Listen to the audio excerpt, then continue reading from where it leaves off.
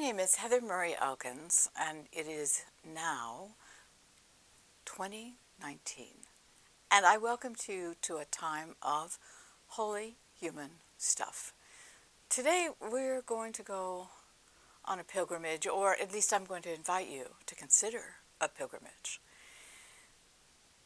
The story of this pilgrimage, the one that I want to invite you to, started in the fall of 1964. Uh, we're being driven home. We, meaning myself and my three sisters. Our mother has finished teaching. We have finished class downtown Tucson. We're driving out to where we lived on the edge of the desert in Tucson, Arizona. And as we came up the crest of the hill, we saw a woman walking. She was on the right side of the road. She had beautiful silver hair. We could see it from the distance. She was not hitchhiking. She was just walking in the direction of traffic. Well, my sisters and I looked at each other and sighed because we knew supper was waiting for us at home and we knew what would happen next. My mother would stop. We always stopped. If they were traveling on the road, we stopped. And not only did we offer them a ride, we usually, I mean, she usually, invited them home for dinner. And so that meant we would be very hungry by the time we reached the table. We pulled over, and as we pulled over, we could see that she wore a beautiful smile and a vest. And the back of the vest read 25,000 miles walking for peace. Well, then we looked at each other because we knew that this was just not a woman hitchhiking. This was a pilgrim. And in fact, this was probably a radical. What woman with silver hair would be walking as the sun set, carrying no luggage, not asking for a ride, and wearing this vest that read 25,000 miles walking for peace. So she came home.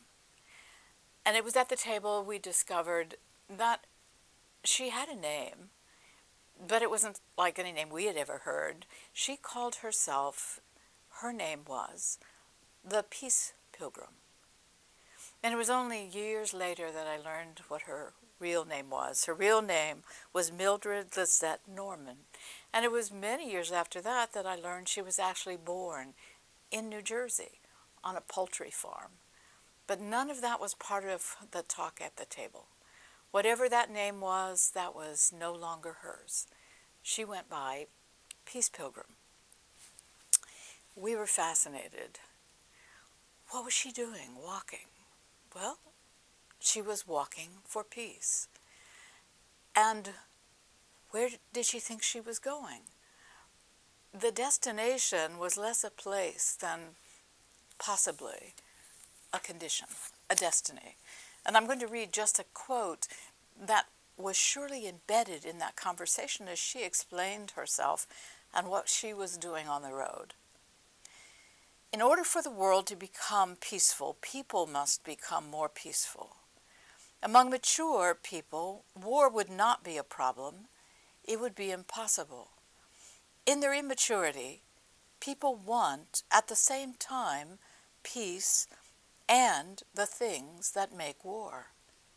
However, people can mature just as children go, grow up. And I pause here, and we were young. We were very young. And here was this very powerful, incredible voice coming from a woman who walked for the sake of children. Yes, our institutions and our leaders reflect our immaturity, but as we mature, we will elect better leaders and set up better institutions. It always comes back to the things so many of us wish to avoid working to improve ourselves. How was it this woman who was so extraordinary alone seemed so peaceful and powerful at the same time. She showed us, because we were young, we were so curious, she took out of the pockets of her vest the things that she carried, the only things that she carried. A comb. She carried a comb. She carried a pencil. She had a small pamphlet, but only one. So she read to it, to us from it. She couldn't give it to us. She only had one. And she had a toothbrush. And, and that was all. She carried no money. She carried no weapons. And she was walking, she said, for peace. And what she said, because I think her message was really directed to the four children at the table, she said it was very simple, very hard, but very simple. First, you found peace in yourself. And then you were able to find peace in your family. And then, when your family was at peace, your neighborhood could learn to be at peace. And if your neighborhood was at peace, then the whole city could be at peace. You see this simple, very difficult task. Because she did press back on the point why it was so hard. We had to work at being peacemakers. I don't remember that she said the word God. As I've read about her later, uh, she didn't use the word God very often. But she surely believed in this incredible force in the universe, this force that was the universe. And this is what she said in the writings that she did. Her pilgrimage began when she had a vision, a vision, and this is what she wrote. All of a sudden, I felt very uplifted, more uplifted than I had ever been. I remember I knew timelessness and spacelessness and lightness. Every flower, every bush, every tree seemed to wear a halo. There was a light emanation around everything, and flecks of gold fell like slanted rain through the oneness of the rest of creation. And most wonderful of all, a oneness with that which permeates all and binds all together and gives life to all.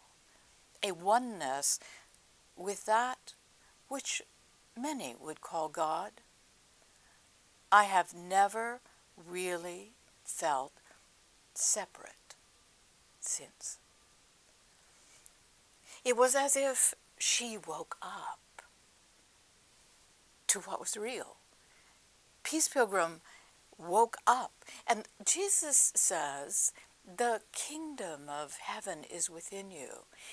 And I have been in the presence of one who was in the kingdom of heaven because she woke up to it. It was not something she was waiting for. It was not heaven. Not heaven, heaven, as we often, I think, mistakenly describe it. She woke up and realized the kingdom, the kingdom of heaven, this innate wakefulness.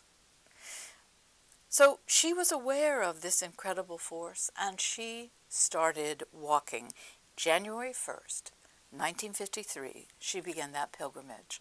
And she never, she never stopped. The only thing she carried.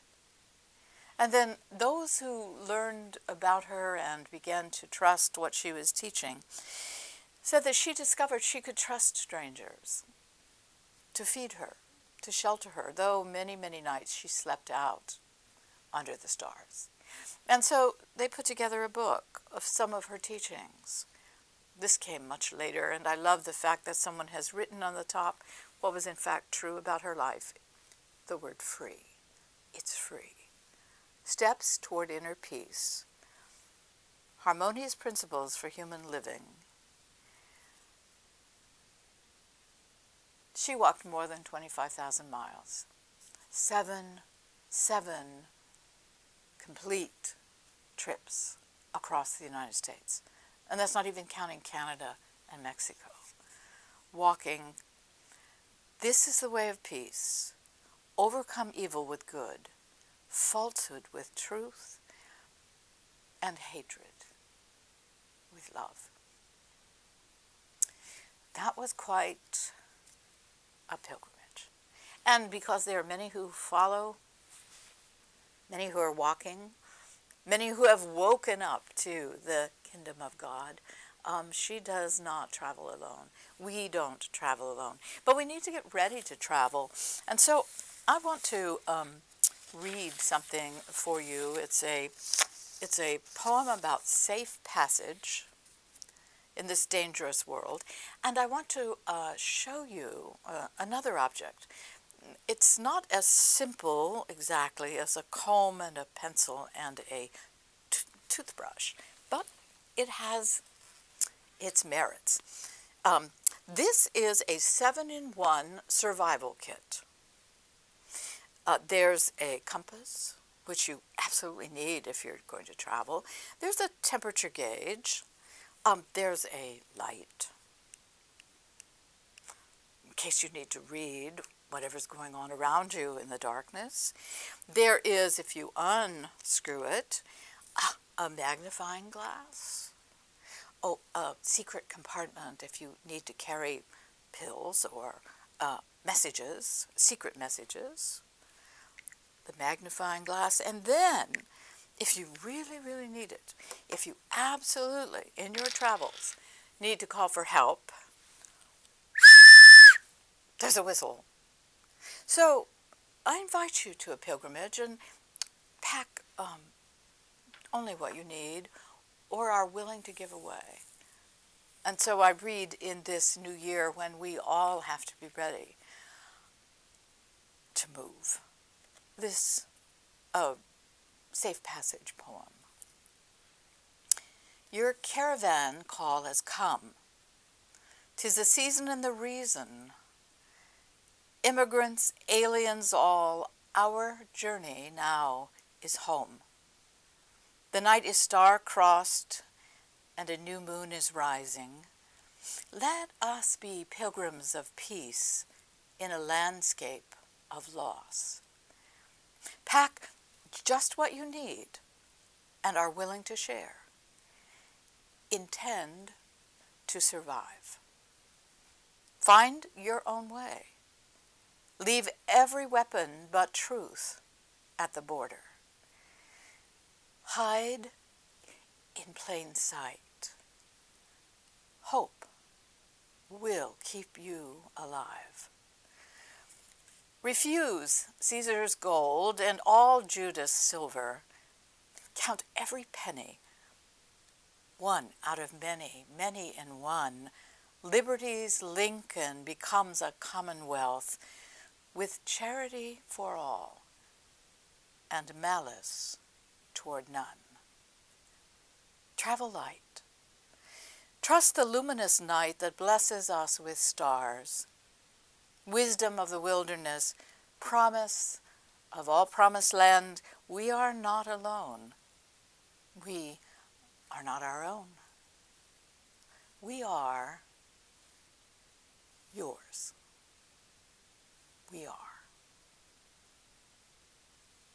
Travel well.